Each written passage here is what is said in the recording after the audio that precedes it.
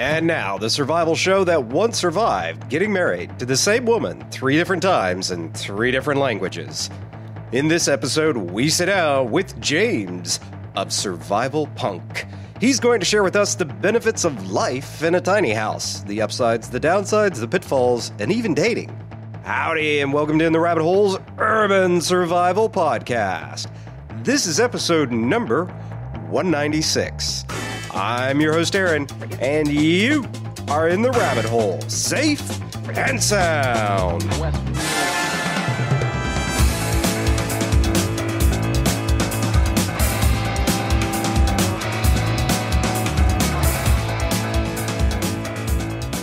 James, welcome to In the Rabbit Hole, dude. Hey, uh, thanks for having me on. It's a pleasure. Yeah, now I have actually professionally and been aware of you for a long time. I don't listen to your show, and as we were just talking about, you know, it's it's a lot of us try not to listen to each other's shows so that we don't accidentally like repeat someone else's material or get get to sounding too much like somebody else. So I am excited because it's like hanging out with a brother. I get to somebody else to commiserate with, which we did a little bit of the pain and torture that is making a podcast and also the the fun and excitement of making a podcast. So it's fun to actually get a chance to talk to you today. And we're even we've even got something to argue about, which is going to be even even better. I love a good argument and a rambling. A rambling argument is the best. Yes, yes. It's a little early for dancing girls and booze, but I think this may call for it. But uh, all that aside, so we're going to talk about tiny houses today. And I sort of understand tiny houses and largely don't get tiny houses. So, aside from the survival benefits, let's start there. Convince us why are tiny houses cool? Do you like being in debt? No, not really. My home is paid for.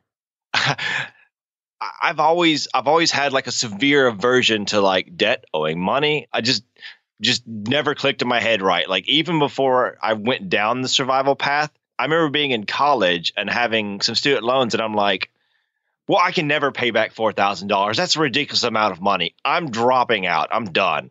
You know, and then work two jobs so I can pay off that four thousand dollars. You know, that was nothing for for one year. So a lot of people that age, you know, they're tacked with hundred thousand dollars in you know underwater basket weaving, and they'll never pay that off. Uh, so you know, I've just always had this aversion to it. So I actually became a member of the tiny house community before I even even heard of it. I've I've lived in some unusual places. I was homeless when I was younger, so you know you kind of couch surf around, which part of my punk culture there too. Mm-hmm.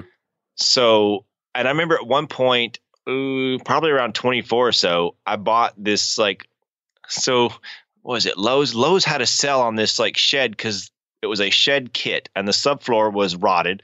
Everything else was fine. And they marked it down to like, I don't know, $200 for, for two eight by 10 sheds. So I bought them both. I built them, you know, and I put uh, like a couch and some library books in one, you know, a bedroom and entertainment center stuff in the other you know, I lived in those two uh, eight by ten sheds for a couple months, and this is this is like 2005 or so, mm. way before I'd heard about the movement. I don't need a lot of space, and you know, I was happy. You know, it was so it was on my friend's land. So for showers, I just went next door. You know, I can go next door and cook. I just need a place. I mean, for the most part, most people just kind of sleep in their house. Mm. You know, especially a bedroom. Like you go in your bedroom, you go to sleep. Why do you need a giant bedroom?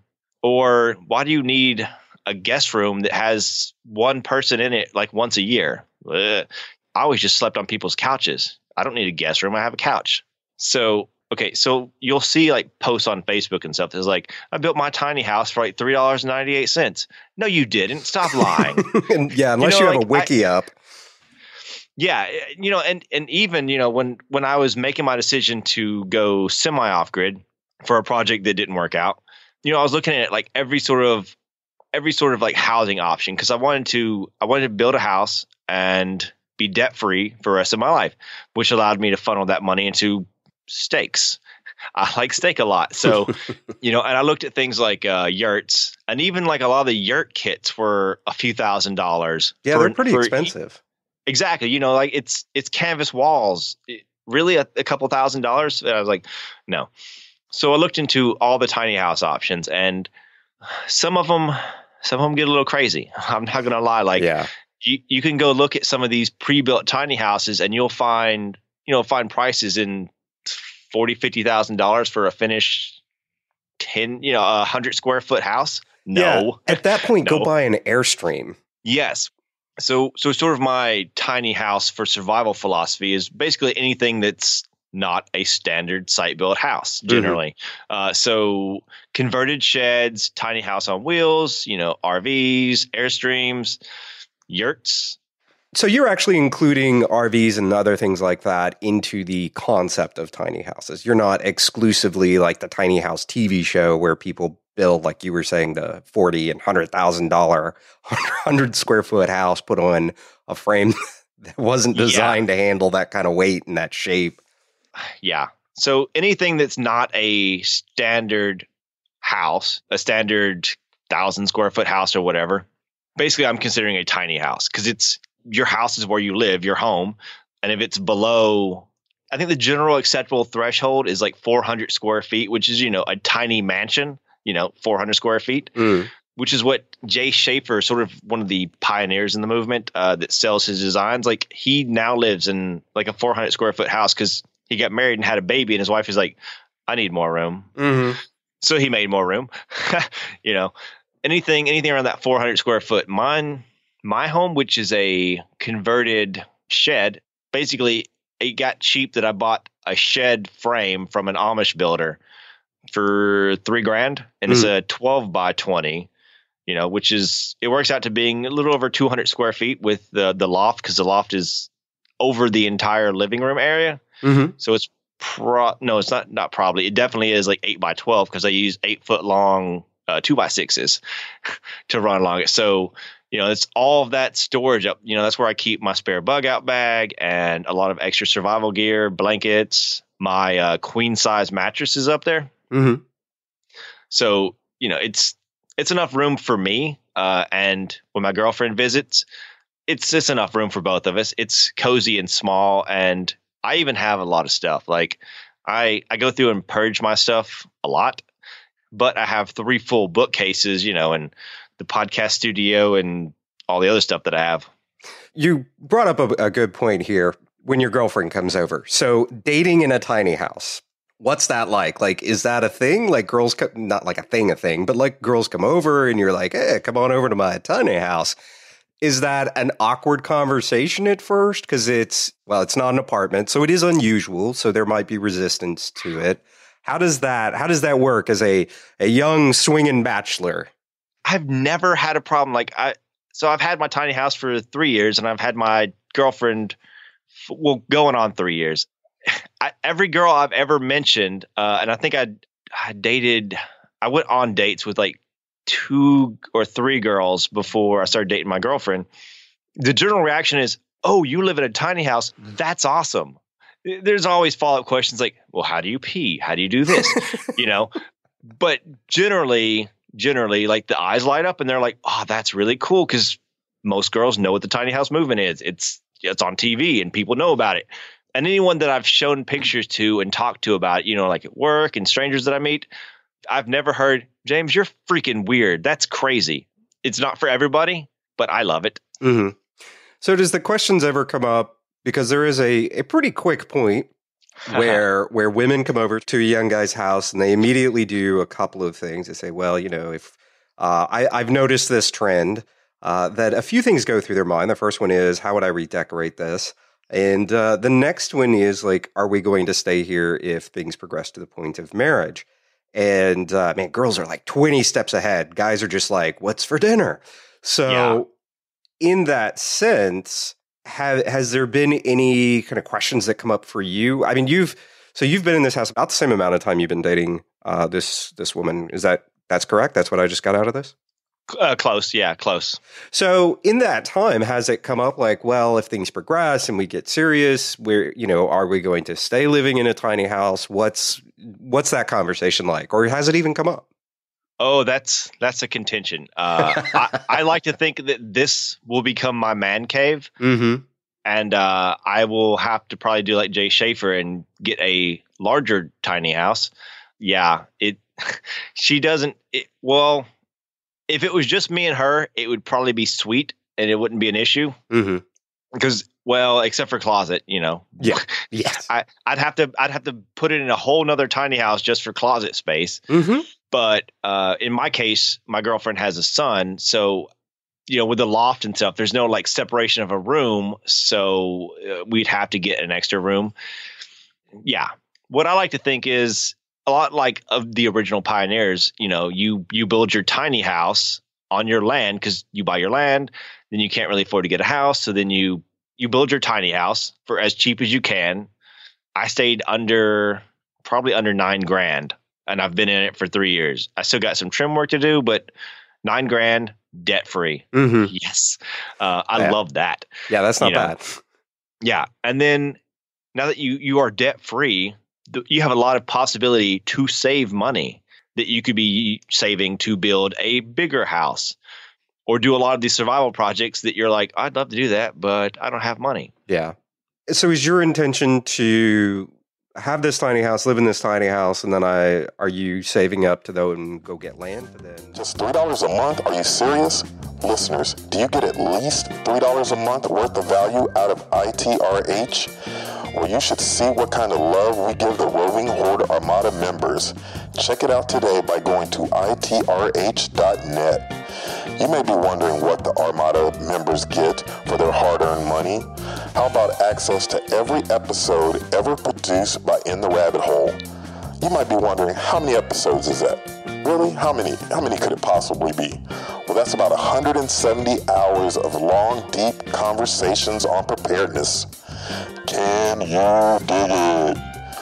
You'll receive an invitation to the secret ITRH Armada Facebook group. Did you hear me? Secret. That means you don't know about it, I don't know about it, nobody knows about it. So you can chat about the sweet, sweet survival all night long, baby. And you know how much fun that is. Get a free copy of the book, Owning Your Survival. You'll put that preparedness thing under your spell go to itrh.net because you know what Nelly says it's getting hot in here. Access the famous ITRH Bob and Emergency Kit on demand class. You know what to do with that bag, that perfect bag. You put it on her back. Oh, yeah, that's nice right there, baby. You know how I like it. Ammo spreadsheets. Put your bullets in there, big boy. You know how to do it. Shh, shh. Enough said monthly in person and virtual online meetups. We've got to get together, honey badger. Ooh And that's just a little taste. You like that, don't you? You dirty, dirty boy. Go deeper down the rabbit hole and show that bunny some love. Visit itrh.net to help keep the show safe and sound. That keeps you safe and sound. Now back to you, big boy Aaron. So is your intention to have this tiny house, live in this tiny house, and then I are you saving up to go and go get land to then build a bigger tiny house or or just build something bigger in general? What what's your your kind of plan there? Or do you have one? I have a plan. So my best friend and co-host of the podcast that I'm on, he owns 27 acres. So I'll just put my house on his, you know, Mhm. 27 acres, can't go wrong. So in the future, I really like building and uh, you know, sort of the the reason that I started Survival Punk was because I love DIY and I love to to build and make and figure things out. So in the future, what I want to do is try using different building techniques to build different structures and maybe eventually end up on something that you know really hits home that I love and try that. Like I really want to build one of Paul Wheaton's uh, wofati type buildings. It looks like it's perfect with the uh, the solar gain and the uh, the inertia thing that he has with it. Where I don't like heating really. With a tiny house, heating is fairly easy, and the same thing with cooling. But with that, basically your temperature year round is about perfect. I like that. So my real plan is to try lots of different sort of off-grid building techniques, throw everything at the wall, see what sticks, and and go with it. with the transportation of these tiny houses and a lot I, I haven't watched a lot of the episodes but I, i've watched a few just out of curiosity there always seems to be some sort of issue with the frame and the mobile frame that is put on these homes and everything else, and having uh, a background in architecture and construction management and everything like that, I look at it and go, yeah, you can't put that kind of weight on a frame like that and expect you know not to blow out tires and things like that. So is that more TV show drama, or is that a very typical thing that people build houses, these tiny houses on frames, and it's they've built something too big or too heavy uh, because of finishes and just general crap they've stuffed the tiny house with? What where does that end up? Because that always seems to me as a a kind of a big drawback and a big issue for tiny houses. I, you know what? I think a lot of that is TV drama because uh, I've not come across, you know, on forums and other blogs and stuff. I haven't came across a lot of people that are like, oh, you know, I tried moving my house and I blew out tires, and I think a lot of that, besides TV drama, comes from. So the tiny house movement attracts a lot of people that have never built anything and have no comprehension of building at all, and they slap everything on there, you know, and so they try to drive with built houses on trailers loaded down which is probably not the best idea ever. mm-hmm. You know, like, because uh, you got to think though, a lot of these trailers are getting. I've seen videos where people get. I saw one video where a guy took a a small, like twenty foot long uh, mobile home, and then built his tiny house on this because he bought like he got a, I think a free trailer because it had burned down, but all he wanted was you know the trailer frame off of it. So he got that and then you know built on it. So he got a free trailer basically, which obviously was built to hold a mobile home. So he's building a tiny house, easily fit. And I think he cut it down so it wasn't even as long. Okay. Or like people will get like burnt and messed up airstreams and they'll build on those. So these frames were a lot of times designed to hold the weight that you know you're putting on it. You know, it was either a trailer or, you know, an airstream, which was a mobile, you know, house dwelling. Yeah. So in those cases, there is good, and then sometimes they'll overbuild them, or they will load their houses up to capacity with all their possessions, and then try to drive with it, and that's oh, that's an iffy pot. So yeah, I built mine not on a uh, trailer. Mine's like I said, a converted shed basically, and I have had to move it, which is what I love about uh, the tiny houses because basically, and, and, I joked about in an article I wrote. I called it a bug out tiny house or a booth. Yeah, a booth because we love acronyms, right? right. I had originally built my house on a piece of land with a friend of mine, and we were trying this like sort of survival project. It didn't work out so well. Uh, we had our disagreements, and I hired a shed moving company to come pick up my house and move it. I didn't know there was such a thing. Yeah, I mean the people that deliver sheds. That makes sense. Yeah, that makes sense. Yeah, uh, yeah. The only thing is, like like I was saying, I had to rent a U-Haul and empty out my house, so it was just an empty shed. You know, as an empty dwelling. Because well, one, it would slosh around and break stuff, but that extra added weight, you know, that's extra toll on the trailer that's moving your home. So, yeah, I you see these people and they're driving around with fully loaded homes, and that always was like, I don't think you should do that. I mean, not even for like, they're like, oh, we have everything battened down and it won't fall out. And I'm like, you're asking for trouble. Mm-hmm. I mean, I, I would rather empty it out, you know, and it's, it's a tiny house. Really, how much are you emptying? And then, you know, in an emergency, you know, like I, you could, I guess, if you like really batten down the hatches, but then gas and then tires. I wouldn't recommend moving your tiny house with your possessions in it. It just seems like asking for trouble. Yeah. So, as far as I get I get where you're coming from since you enjoy DIY projects and things like that. Uh, but it seems like a lot of people that get involved with the tiny home movement are just interested in purging their lifestyle, and as a way of doing that, constricting the amount of square face they have uh, they have to deal with. And I guess the part that I don't understand is why build something when there's already a huge industry out there for RVs that are already made, already ready to whether new or used to just drive off the lot.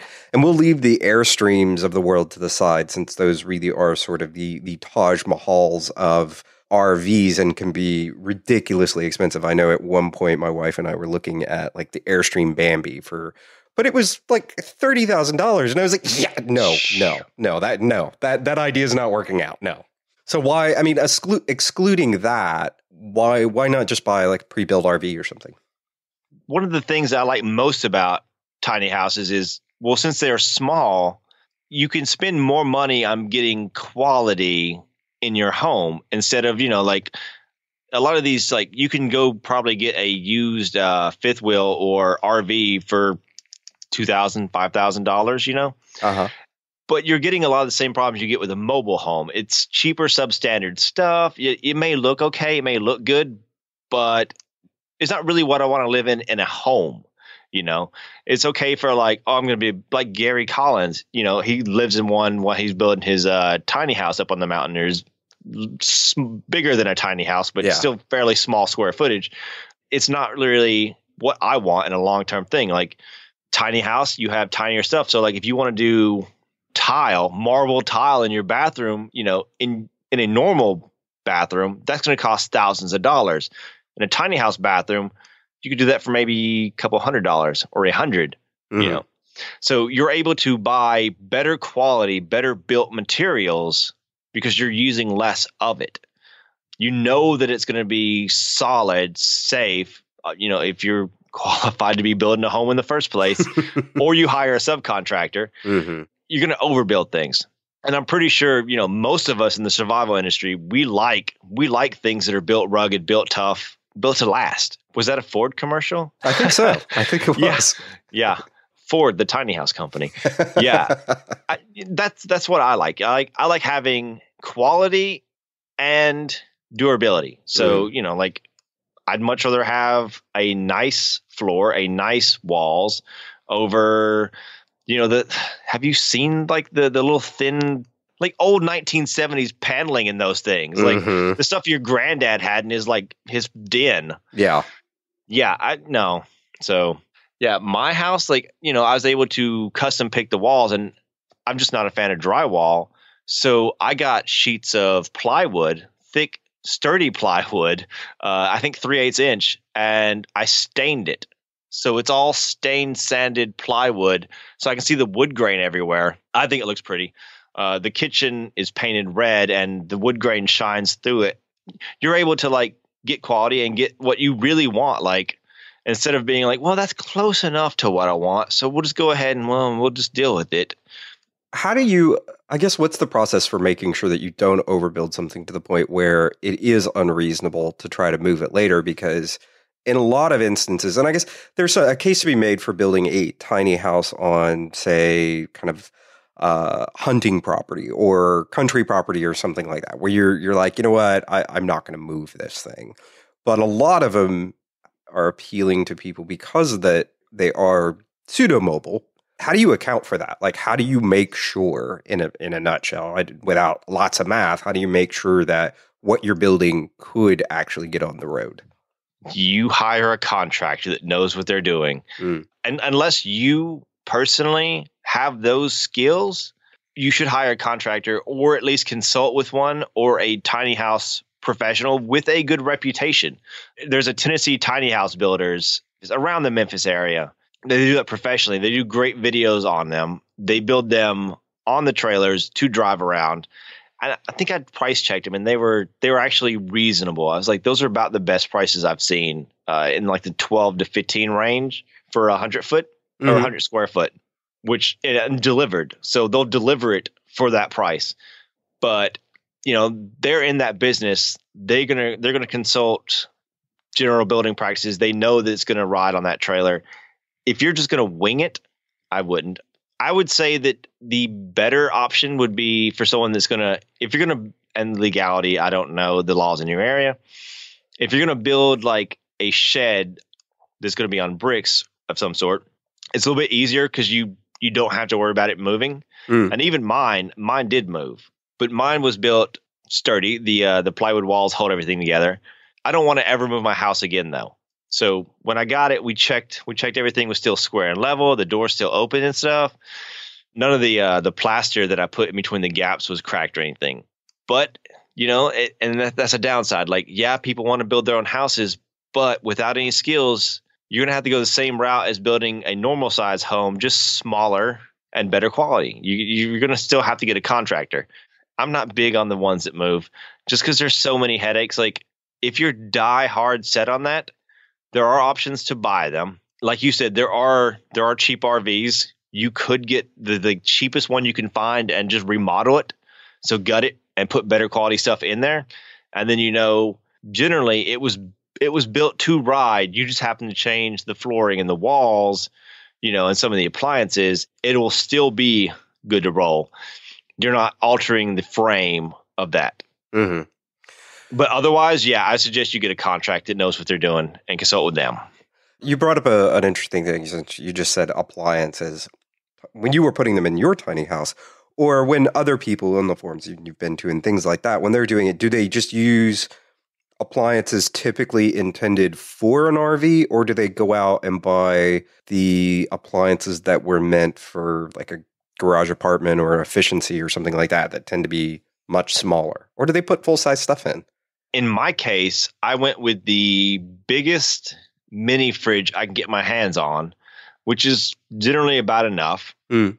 You want to really tailor it to what your needs are. So I have a pantry because I'm a prepper. I like lots of room to store food. Yeah. you know, and food storage was part of my design. I want to make sure that I have a big kitchen with lots of room for, you know, rice and beans and whatnot. And my pantry was built just big enough to hold my deep freezer. So all of my meat and extra stuff is in there. So small fridge, big deep freezer. You know, so I can rotate out sort of the fresh food in the in the fridge, and then the deep freezer can hold all the long term and the, most of the freezables that won't go in the ridiculously tiny, useless freezer. For the rest of the appliances, you kind of either have electric or propane. I mean, that's that's as a tiny house, those are your two real options. And I've got a one of those Coleman uh, stove tops that uses the little Coleman canisters. Mhm. That's that's really good. Except for my local stores, we're out of the canisters a lot, so I kind of have that on reserve for emergencies. Just I got tired of trying to find it, and then when it was out, I'm like, well, how do I cook my bacon and eggs without fuel? Mm. it was a pain in the butt. So now I use I don't even have a, an oven. I just don't use one. I do 100% of my cooking really on a induction cooktop that just plugs into my counter. Just yeah, plugs those are into the pretty neat. Yeah. And uh, it's great if I need it. If I need to go to, you know, two burners, I just have a just a really cheap like Goodwill store just cooktop, just, you know, same as your normal cooktop hmm the induction thing I have, it, it has this weird cycling thing where like it's amazing for boiling water. Like you boil water for for your coffee and then you walk off and come back and it's boiling.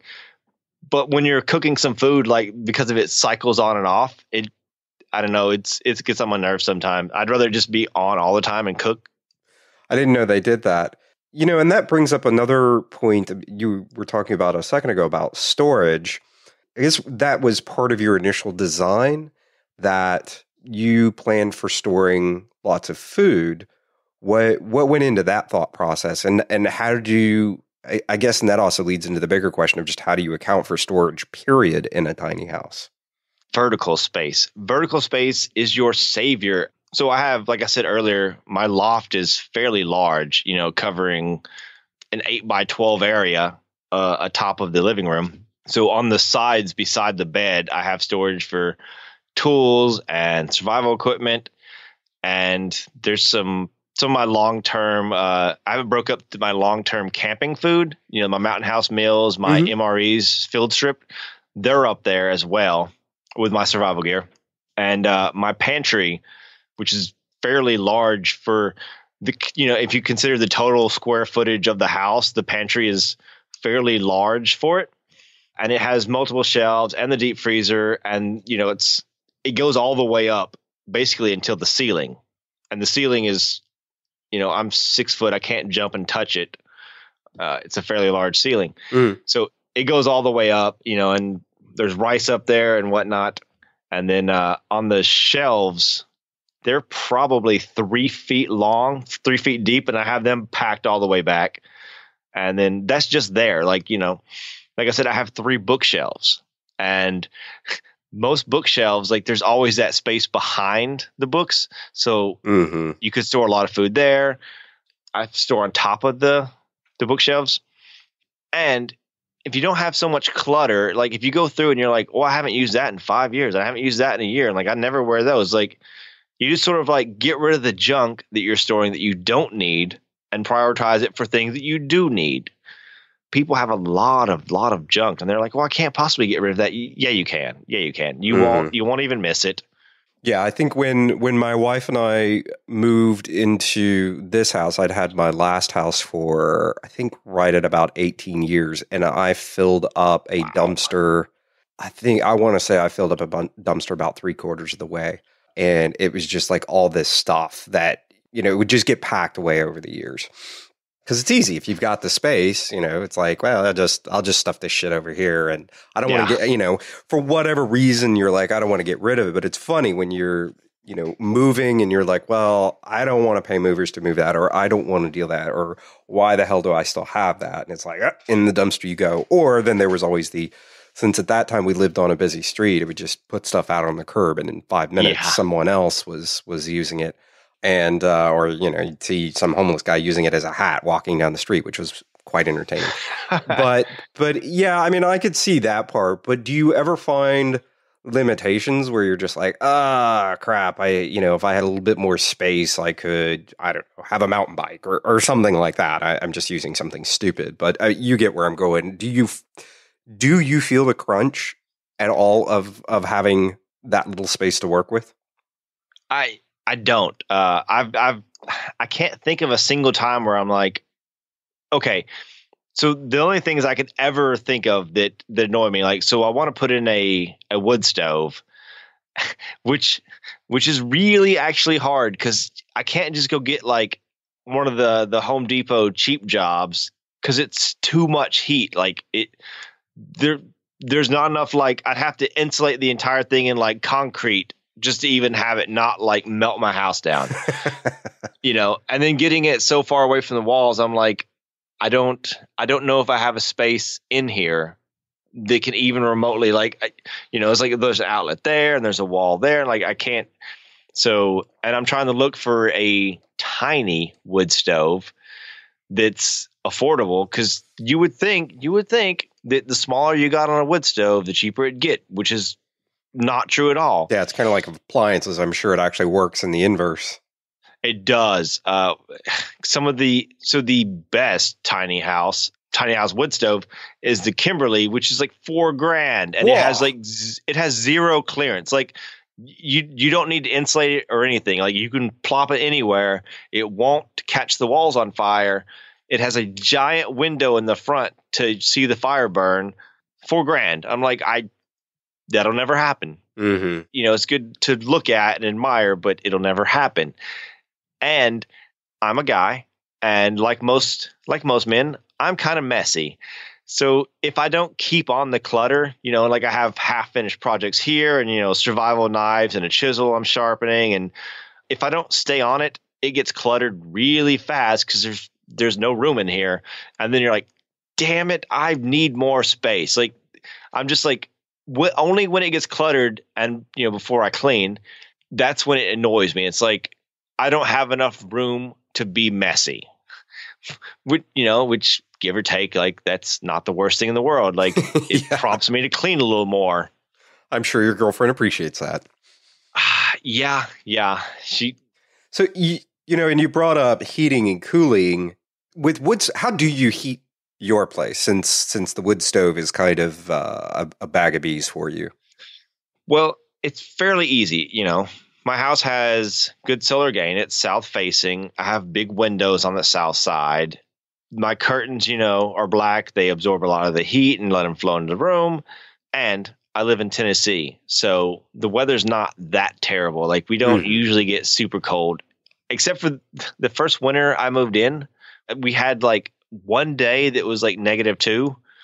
We had, uh, I think, seven days. Like I drove home from work one night, and we had we had a like snow was falling. We had a seven day ice storm. I was trapped in my house for seven days, couldn't get out.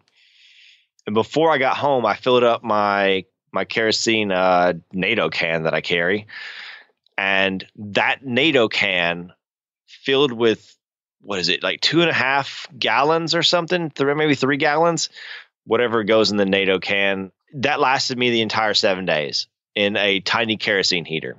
So that's that's when I was using kerosene. Uh, this past year, I bought a little uh, Mr. Buddy heater, the big 15 pound propane tank, and on the low setting, which keeps it really nice for myself, I can run that thing. I think I figured for 15 days straight if hmm. I was to run it all day and all night. Uh, and I usually only run it for a few hours at a time. You know, I warm it up to about 65, 70 in here and then let it coast for a few hours. And while I'm asleep, I like it frigid freezing. So I turn off all the heat when I sleep, wake up, turn it back on. You know, and if I have the kerosene heater, which I have a different kerosene heater now, a bigger one, and it gets too hot in here. If I leave it on for about an hour, the house gets to about 75, and then I just have to, and that's like, that's forcing the knob to go lower than it's supposed to go. It's like keep going lower, keep it. if I ran it full blast, it would it would be a sauna in here, and I'd be miserable. Mm-hmm. So, 15 days with that little Mister Buddy heater. That's think about the redundancy you'd have if you had just a few of those canisters, or even if you had like a propane pig outside and just ran, you know, plumbed up to it. You'd have a year's worth of heat you could spend the four grand or even a few hundred dollars because they have cheaper, not four thousand dollar tiny house wood stoves. I've seen some in the four hundred to a thousand dollar range that are small enough to actually work in a tiny house. You know, and then you have the extra the extra level of you know self sufficiency there.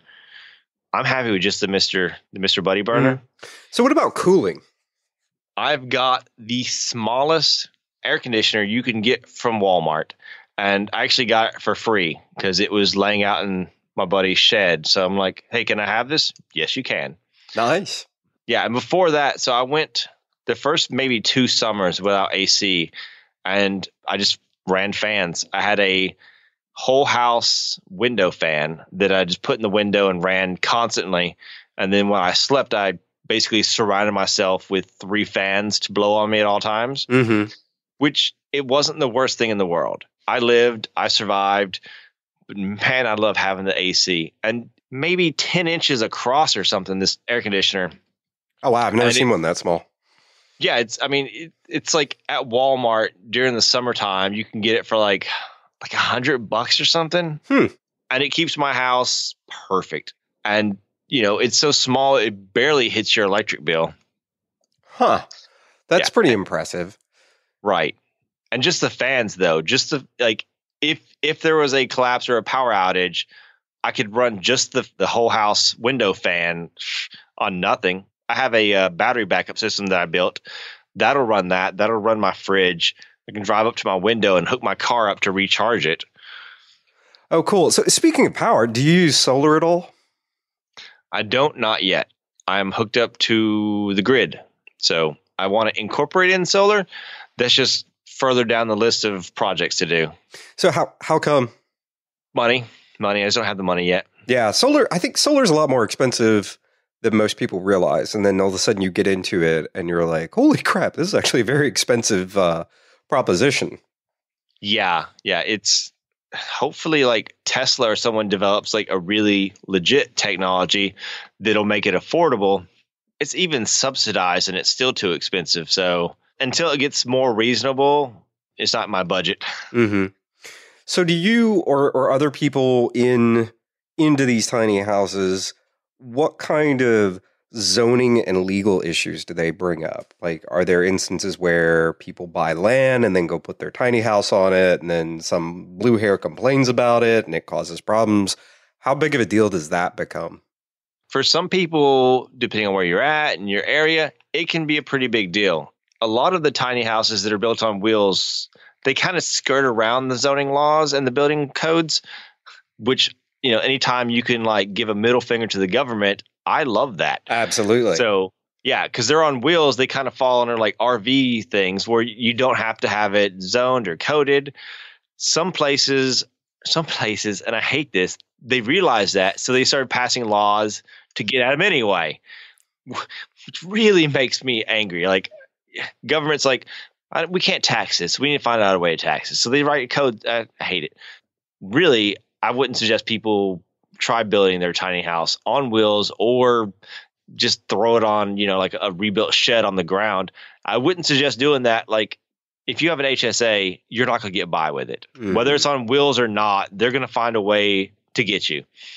And if you drive through a lot of these country back roads, like around where I'm at, you find people living in all sorts of ramshackle shacks. And you yeah. like, if you see that, you're like, oh, this is probably the place I should build. You know, like there's there's like travel trailers with like the wheels chopped off and like uh, tarps over them for roofs, and you're like, okay, so they're probably pretty lenient out here. mm-hmm. if, you know, if you find manicured lawns and stuff and picket fences, probably not the best place. And uh, you know, I, I don't I, I suggest people probably should look into the local laws and and see what they are and you know make that decision whether you want to try it and be one of the people that are on Facebook that's like, this man can't live off grid. Like Gary, Gary Collins, he's actually got codes and a building permit and he's following all the rules. Maybe you don't want to follow the rules, you know, and that's that's a decision that you have to make for yourself. You know, where you where you want to make your fight and where you want to lay low and not not make your fight. Well, interesting stuff, man. I'm still not sold on it, but I mean, you know, it's it's not for everybody, and I, I think that's the thing, though, is it's not for everybody, but for people who are interested. And I, I actually do have a friend who has, uh, I believe she's now she had a house, and I think she's now like you put it on corporate lease, and she got a uh, a travel trailer and has remodeled it and is now traveling around and doing all that kind of fun stuff. So because I know when I was uh, single, there was a, a period where I was convinced I was going to sell my house and move on to a sailboat. Um, I think yeah. I also thought maybe I was going to, you know, grow a mustache and drive a Ferrari and be Magnum PI or something. But at the time, it seemed like a brilliant idea. But I definitely do get the the appeal of having a confined space and and trying to do things to lower your bills and all that fun stuff. So, well, cool. So, James, how do people keep up with you? How do people get in touch with you. You are, we've hinted at it a few times here. You you are the survival punk. So tell us about that. I run the survival punk blog. Basically, you know, years ago, my friends were kind of sick of me like telling about these projects I was doing and you know all these things I was working on. So I was like, I'll just make a website and maybe like three people will go read it and yeah. and I'll just be able to like write down my you know like little DIY projects that I'm working on and and you know rantings and whatnot. So after the long struggle of trying to find the perfect domain name, I was like, well, I'll just combine everything I love, which is sort of survival and uh, some paleo and some fitness stuff and some punk music, you know, and everything with the punk attitude of just the DIY ethic and you know, like I don't I don't need permission and I don't need uh, anything. I'm just going to go do it my way, put it out there, and see what people think. Mm-hmm. So that's what survivalpunk.com. It grew from that and it's still there somehow. I don't I don't know why. so it's a blog and a podcast. It's it started out as a as a blog. I still blog there. Right now I'm working on 5 posts a week. Nice. And then every Wednesday, mm-hmm. I've been on schedule for a while. We put out a podcast me and my co-host which has been described by some as the most electrifying podcast on survival entertainment which that's sort of my kick. Like uh, it's it's sort of a raunchy comedy. Yeah you'll learn stuff and you'll laugh. Who really wants to be bored? Have you listened to a podcast and like the guys like ben stein he's like today we are going to learn yes. about survival. And yes. i'm like i can't do this. I can't. Uh, i mean there's some you know, and I have a YouTube channel, and and I was watching I was watching a guy recently on YouTube, and whatever he was talking about or making, I'm like, this is the best. But he was so boring. I was like, ah, just you know what? It was it was the Hacksmith channel. I mean, he has a billion people, but he was just talking so boring and. I you know, you can see that people get passionate. Like this guy basically built crutches with rockets on him and tried to shoot himself in the air to fly like Iron Man. You know, and and he was, yeah, I got it. You know, and then he was excited.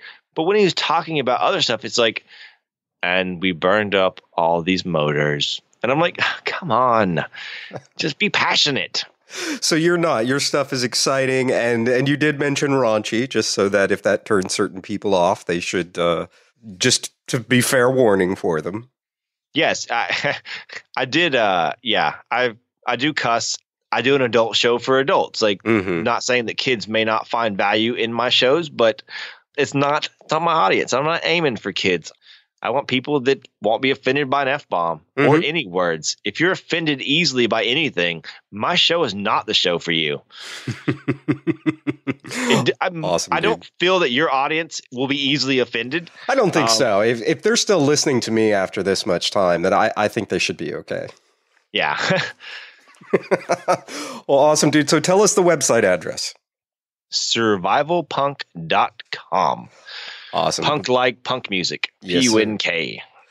Well, dude, James, it's good to talk to you. It's good to have you on the show. Uh, I think this has been a, this has been a fun show. I, like I said, I don't uh, tiny houses aren't for everybody, but I think for the people that are interested in it, that was definitely uh, a lot of interesting stuff. So I I appreciate you coming on and sharing your insights and experience. Oh, anytime. It was a it was a blast. It was it was not a boring conversation. It was it was fun. Show notes, resources, links to the survival punk, and links to things mentioned in this episode can be found at intherabbithole.com slash E196. Big Phil shared with you just some of the sexy, sexy benefits you get from becoming part of the ITRH Roving Horde Armada. Find out what else you get by visiting itrh.net. And remember, members help the show stay safe and sound. That helps you stay safe and sound. Visit itrh.net and become a supporting member today.